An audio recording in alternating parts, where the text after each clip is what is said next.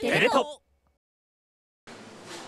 人気漫画のキャラクターが描かれたこちらのポスター。特殊詐欺への注意を呼びかけようと作られたものです。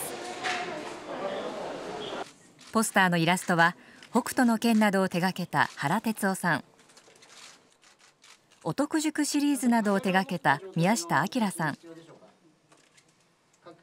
銀河シリーズなどを手掛けた高橋義弘さんら3人の漫画家によるもので今日3人は警視庁小岩警察署の一日警察署長に任命されました。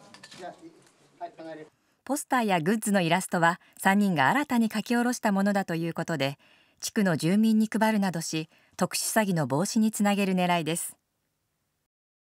なんとなく僕だってあの正義っていうかさそういうものを書いてる。だからあのやってみたかったと思いますね。実際に詐欺の電話がかかってきたりとかそういったことはあります。回ほどあります。今新宿で車ぶつけちゃったっていう。ほんでえ？もうあのうちは車その頃3台かあったからどの車って言ってたのねうーって泣き何も言わないわけよ。でおかしいなさっき最近詐欺が流行ってるから。でお前ちょっと俺より詐欺じゃないってその場で言っちゃったの。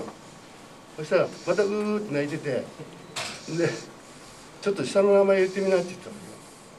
そしたら「トシ」って言う。でうちのトシじゃなかったから「お前嘘つけ」って言ってね。そしたらカチッと切れちゃう。ちのおふくろはもう女優近いですけど、やっぱり時々かかってきますね。まあ、俺俺たちは絶対出ちゃダメだよとか、あの話聞いちゃダメだとかっても年寄り聞いちゃうんですよね、どうしても。電話もう線抜いちゃってるんでかかってないうん置き電話出ない方がいいみたいですね今ね